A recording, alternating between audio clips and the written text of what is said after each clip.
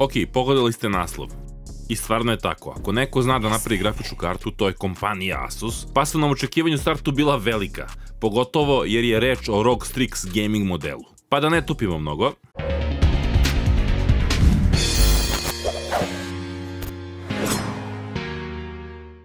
Vrhunske Asus ROG, TUF i Strix komponente možete pronaći u Monitor Systemsu, Kumanovska 14, Vračar, Beograd.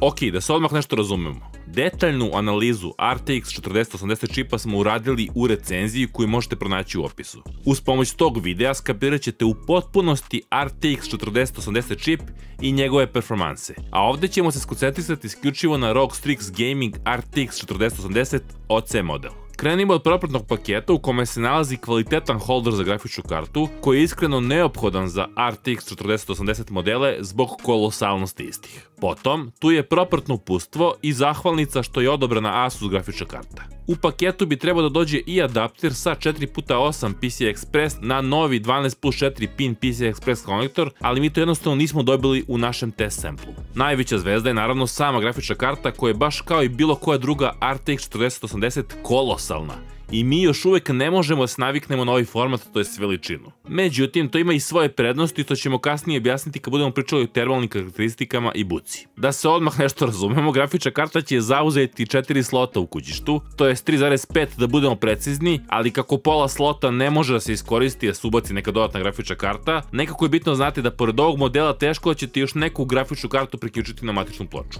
ili bilo koju drugu karticu. Naravno, to zavisi od same matične ploče, ali eto budite spremni na tu analizu. Osjećaj u rukama je nevrovatan, jer je telo u potpunosti izrađeno od metala, ali te osjećaj traje samo dok instalirate grafičnu kartu, zar ne? Ono što je mnogo bitnije je da to doprinosi boljem hlađenju i boljoj stabilnosti grafične karte u samom slotu, te neće dolaziti ni do krivljenja same štampane ploče i lošeg naleganja kulera usled duže korišćenja. Naponska sekcija je izvedena savršeno za ovaj tip čipa i duž celog PCB-a su 15K elektroliti. Novi je Xiel Tech ventilatori po tvrdnji Asusa proizvode do 23% veći airflow, gde se prvi i treći ventilator okreću u obrnutu smeru od kazake na satu, a ventilator u sredini u smeru kazake na satu sa idejom da se ne stvaraju vazdušne turbulencije. Takođe, treba napomenuti da se ventilatori neće okretati dok GPU ne dostigne 50 stepeni Celzijusa. Sam izgled grafičke karte je uvek subjektivna stvar, odnosno izgled bilo čega, ali ono što mislim da možemo sa sigurnošću da tvrdimo je to da je RGB izveden diskretno i iskreno sviđa nam se. Praktično imamo dve zone. Sa bočne strane je jednostavni Republic of Gamers natpis, a sa prednje radijator, to jest taj deo dizajna smo tako nazvali. Ako mene lično pitate, ovo je lepa grafička karta, ali opet ponavljam, ovo je baš subjektivna kategorija. Cooler je masivan i zasnovan je na kombinaciji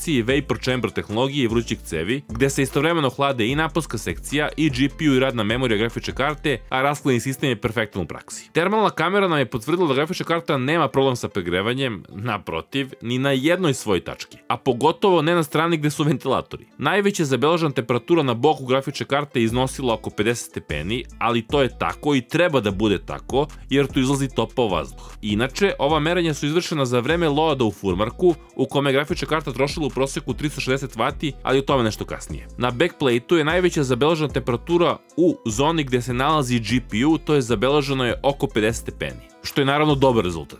Dakle, telo grafičke karte nije u problemu ni podrazno, šta više. E sada, treba napomenuti da ova grafička karta ima dva BIOS-a, to je Performance i Silent BIOS, pa smo dalje testiranje nastavili u oba scenarija korišćenja. Kratak predah. Thermo Grizzly, najbolje termalne paste i padovi u VIP House, čekirajte link u opisu. Konkretno, prilikom Furmark testa u performance režimu rada grafička karta je vukla oko 360 W i nije prelazila 65 stepeni Celsijusa za GPU sa hotspot temperaturom do 78, što je naravno odličan rezultat, jer se ventilatori nisu okretili na više od 50%, pa je karta bila poprilično tiha, ali ne i bešumna. Clock grafičkog procesora je u tom momentu iznosio oko 2300 MHz u proseku. Zapamtite ovu cifru jako je bitno. U istom tom scenariju, u silent modu BIOS-a, to je sa takvim BIOS-em, je grafička karta bila praktično nečujna, jer se ventilatori nisu okretali na više od 33%, dok je GPU vukao oko 320 W. A prosječni klok je iznosio nešto ispod 2000 MHz. Takođe i prosječne temperature su bile nešto niže.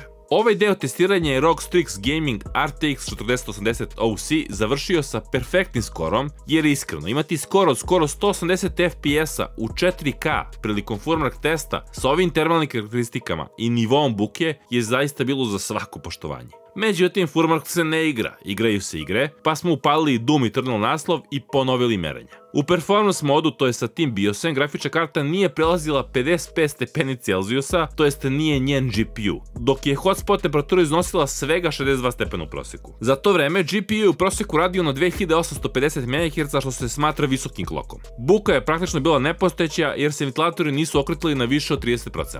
Zanimljivo, u silent modu BIOSa, to je sa tim BIOSem, situacija nije bila ništa drugačija, to je s obzirom na temperature i buku koja su identična, te klokovi potrošnju, nismo sigurni da li je potrebno ikada uključiti ovaj BIOS ako pričamo o čistom gamingu, jer se praktično ništa nije promenilo. Međutim, to ne menja zaključak, a zaključak je da Asus očekivano radio posao odlično i na najviše mogućem nivou. E sada, o tome da li je RTX 4080 kao takav dobar izbor smo već pričali pa se nećemo ponavljati. Ali, Asus ROG Strix Gaming RTX 4080 OC je perfektna grafička karta, pričano iz perspektive kvaliteta izrade, tehnoloških rešenja i buke i kao taka je zavrednila X Diamond i X Advanced Design priznanja. Što bi se reklo, topla preporuka ako planirate da kupujete RTX 4080 čip. Moje ime je Dule, na X forumu me znate kao Animan, a mi se usko vidimo na novom klipu recenziju šta god to bilo. Ćao!